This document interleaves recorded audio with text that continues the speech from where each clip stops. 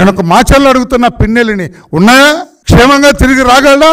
మీ తురకా కిషోర్ దెబ్బకి నీ ఇద్దరు దెబ్బకి ఎవరైనా వస్తారా? కానీ ఇప్పుడు బయటకు వస్తున్నారు జనం అంతా సాయంత్రం అయితే మాచర్ల సెంటర్లో కూడా జనంతో నిండిపోయింది.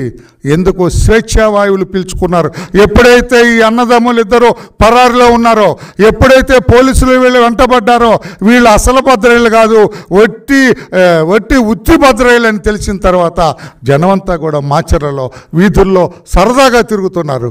చెన్నకేశ్వరుడు గుడి దగ్గర స్వేచ్ఛగా వెళ్తున్నారు. దేవుణ్ణి స్వేచ్ఛగా సందర్శించుకుంటున్నారు అక్కడ. మీరెప్పుడైతే ఒట్టి భద్రయ్యలుగా తేలిపోయారో పోలీసులను చూసి భయపడి పారిపోయారో ఎప్పుడైతే దాక్కొని మారువేషాల్లో తిరుగుతున్నారో ఎప్పుడైతే కార్లు మారి ఈ కారు ఆ కారు అని ఆటోల్లో రిక్షాల్లో తిరుగుతున్నారో అర్థమైంది ఇది పనిచేసే భద్రయ్య కాదు ఒట్టి భద్రయ్య అని తెలిసిన తర్వాత ప్రతి కేసులో త్రీ నాట్ సెవెన్ పెట్టాలా? ప్రతి case you try to kill them. ప్రతి కేసులో you are the A one.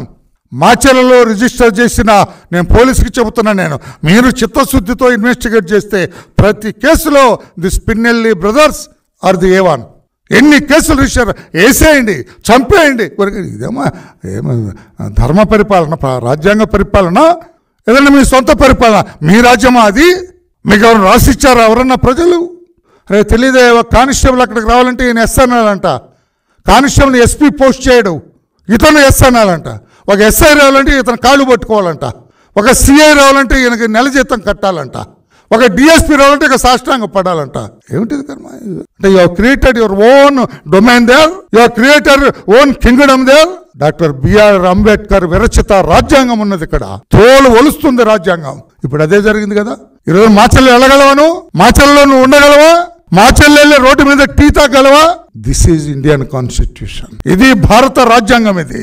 తోలు ఒలుస్తుందని కొద్ది రోజులే నడుస్తుంది ఇటువంటిది. ఆట్టే కాలం నడవదని చెప్పి బుద్ధి చెప్పింది. మిగతా వాళ్ళని తాడిపత్రి వాళ్ళకి తిరుపతి వాళ్ళకి ఇంకెక్కడెక్కడ అనంతపురంలో వాళ్ళకి నీ జాతి వాళ్ళకి జాతి అంటే నాట్ క్యాస్ట్ నీ రకంగా నీ విధంగా వ్యవహరించే వాళ్ళందరికీ నీ జీవితం ఈ రోజున గుణపాఠం.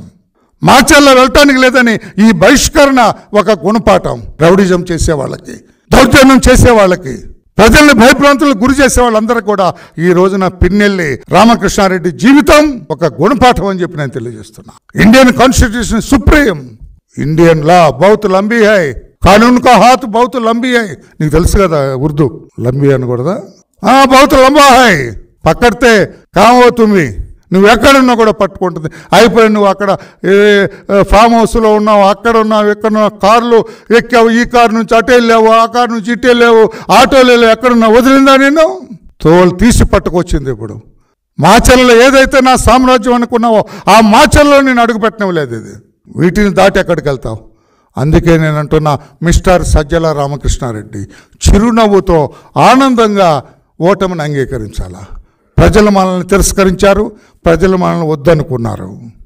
అని బంగారు పళ్ళెంలో పెట్టి అధికారాన్ని మీరు చంద్రబాబు నాయుడు గారికి ఇవ్వాలా?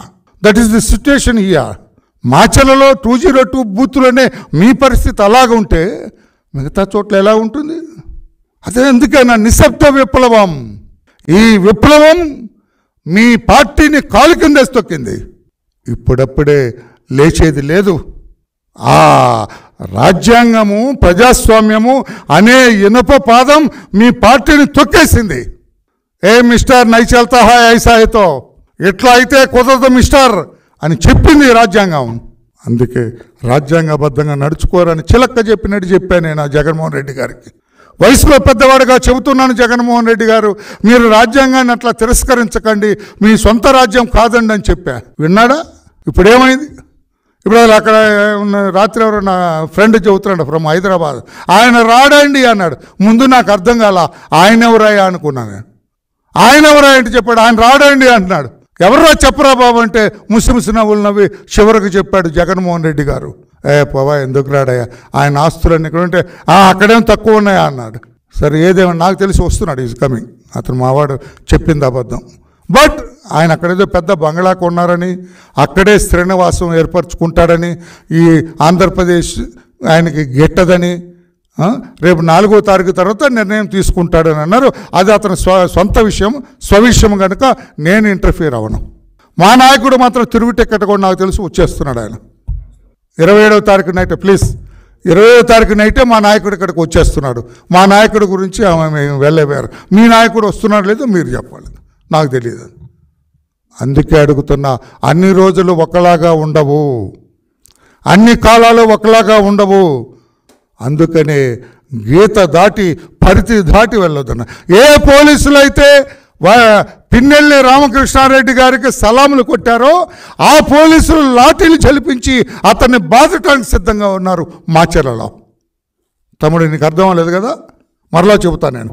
ఏ పోలీసులు పిన్నెల్లి రామకృష్ణారెడ్డి అనే ఎమ్మెల్యేకి సలాములు కొట్టారో సెల్యూట్లు చేశారో అదే పోలీసులు మాచరల్లో లాఠీలు పట్టుకొని సిద్ధంగా ఉన్నారు ఇతను వస్తే వీపు వాయ కొట్టడానికి అర్థమైందా ఇప్పుడు? పోలీసులు ఏం ఇప్పుడు ఎప్పుడు చిరకాలం మీతో ఉంటారనుకున్నారు. ఉండరండి.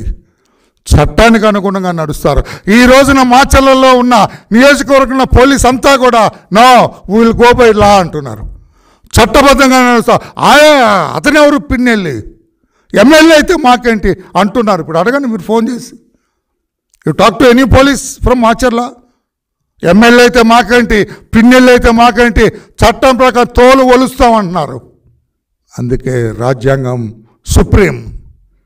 భారతదేశ రాజ్యాంగం ప్రపంచ రాజ్యాంగాలను పిన్నెల్లి గారు సజ్జల గారు భారతదేశ రాజ్యాంగం ప్రపంచ దేశాల్లోనే అత్యున్నతమైన రాజ్యాంగము. రిటర్న్ వ్రాతపూర్వకున్న రాజ్యాంగాలు అన్నిట్లో భారతదేశ రాజ్యాంగం అత్యున్నతమైనది అత్యుత్తమమైనది. మీకు తెలుసో లేదని మళ్ళొకసారి ఉటంకిస్తూ ఉన్నా ఉటంకిస్తున్నానంటే చెబుతున్నాను అని. Is it clear for you అందుకే ఏదో అది హైజాకు ఇది హైజాక్ అనొద్దు. సిఎస్ ఎవరండి? Chief secretary? జవహర్ రెడ్డి గారు? మన అబ్బాయి కాదు?